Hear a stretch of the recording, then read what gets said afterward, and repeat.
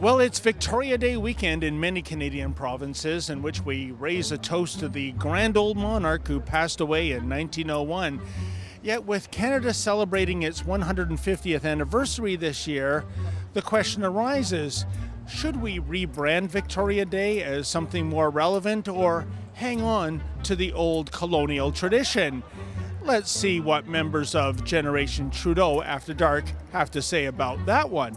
Wants to know about Victoria Day. Donald Trump wants to know about Victoria Day. Some people say we should hang on to the tradition, but others say we should re- rebrand it as a the holiday that's more relevant to modern day Canada. What do you say? But we follow the monarchy, so I believe that we should follow the British Empire. It's something that we can hold on to for forever in our lives. I think it celebrates drinking. I think it celebrates fun. It brings everyone together. Some people are saying that we should hang on to tradition, continue to celebrate it. Fuck Other- that, we get high. Other, others, that too. As The fact is. that we're a constitutional democracy is bullshit, no? Oh, do you think so? I think so. I think it's dumb. Should we come up with another name for Victoria Day? Do you think?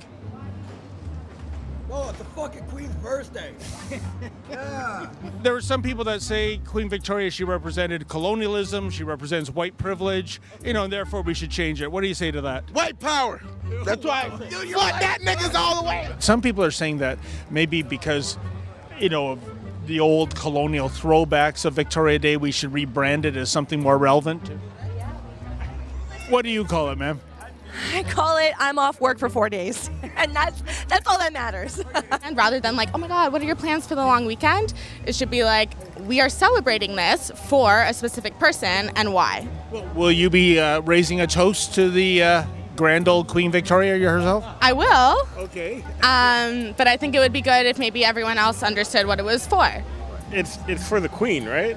Yes. I mean, it's the queen. That says it all, right? I mean, But she passed away in 1901, though. okay, yo, and I guess that makes sense. It's another day to get drunk. Fuck it. Did Queen Victoria get drunk a lot? Or? Probably. She fucking had like the whole castle to herself. So like you know, she probably had a lot of wine. You know, some people say that Victoria, it's too emblematic of white privilege. That's why we should change the name of the holiday. What do you think about that? Black Lives Matter. It's been it's been mattered for the get go. I see you've got an alien on your uh, hat and it says believe. Do you, do you believe in aliens, sir? Of course, aliens are a fact for sure. Come on. Intelligent life? Maybe not, but there's it's a whole universe. Of course, there's aliens. Whether it's intelligent or it's a or a single-celled organism, there's definitely or- aliens out there. But um, Could be more intelligent than us. more intelligent than the queen, probably. Yeah. If you're not a fan of the Empire, some say that the Empire can strike back. You see how I tied in the alien thing? History is history, future is future. Look to the future, stop looking back in the history. Okay. You know what I mean? So you, you say keep Victoria Day as it is. I can keep it Victoria Day, it's history. Okay. Queen Victoria, she was a beauty. She was a beauty. She was a beauty. Fucking beauty. Fucking wore makeup a cute, cute. She was cute. Don't get me wrong. She was hot as fuck. You know what I mean? But do you think uh, Queen Victoria was worthy of a holiday for Canadians to celebrate? Why not? Okay. Why not? What did she do, sir? Uh, she was just a popular, um, like. And we're asking people about Victoria Day. Should we continue? Victoria Day is lit. It's lit. Yeah, it's so Lit AF. lit AF. Family are immigrants, but I still respect Victoria Day. From where, sir? Uh, we're Italian. Okay. But you know what? We respect we respect Victoria Day. Okay. It's part of it's part of Canada's heritage. Well, what about those people that say it's too emblematic of white privilege, sir? It's nice.